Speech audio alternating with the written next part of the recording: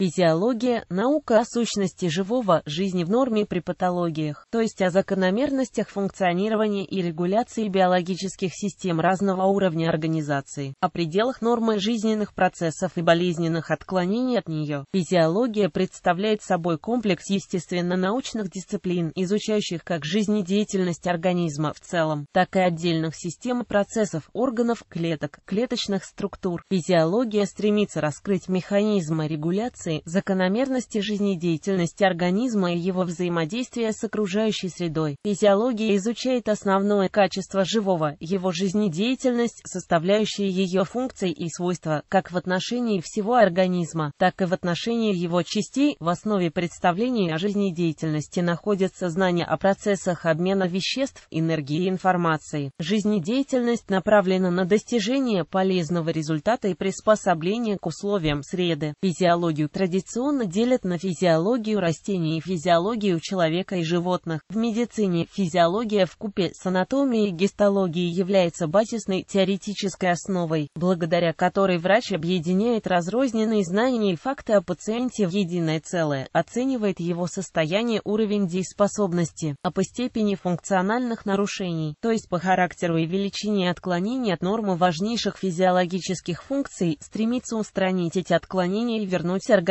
к норме с учетом индивидуальных, этнических, половых, возрастных особенностей организма, а также экологических и социальных условий среды обитания. При коррекции нарушенных функций организма следует обращать внимание не только на особенности влияния природно-климатических производственных условий среды обитания, но и на характер антропогенного загрязнения, количество и качество вредных высокотоксичных веществ в атмосфере, воде, продуктах питания. Краткая история физиологии человека, первые работы, которые можно отнести к физиологии, были выполнены уже в древности. Отец медицины Гиппократ представлял организм человека как некое единство жидких сред и психического склада личности, подчеркивал связь человека со средой обитания и то, что движение является основной формой этой связи. Это определяло его подход к комплексному лечению больного. Аналогичный в принципе подход был характерен для врачей Древнего Китая, Индии, Ближнего Востока и Европы. Однако до XVIII века физиология развивалась как часть анатомии и медицины. В 1628 году врач Уильям Гарвей проверк ранее считавшиеся аксиомы и взгляды, что артерии живого человека наполнены воздухом, и правильно описал работу сердца и кровообращения в живом организме, положив начало современной научной экспериментальной физиологии. Направление физиологии Физиология включает в себя несколько отдельных взаимосвязанных дисциплин. Молекулярная физиология изучает сущность живого и жизни на уровне молекул, из которых состоят живые организмы. Физиология клетки исследует жизнедеятельность отдельных клеток, вместе с молекулярной физиологией являются наиболее общими дисциплинами физиологии, так как все известные формы жизни проявляют все свойства живого только внутри клеток или клеточных организмов. Физиология микроорганизмов изучает закономерности жизнедеятельности микробов. Физиология растений тесно связана с анатомией растений и изучает особенности жизнедеятельности организмов растительного мира и их симбионтов. Физиология грибов изучает жизнь грибов. Физиология человека и животных представляет собой логическое продолжение анатомии, гистологии человека и животных имеет непосредственное отношение к медицине, ввиду того, что эти отдельные дисциплины, в свою очередь, не только имеют собственную специфику, но также разнообразны, выделяют такие дисциплины,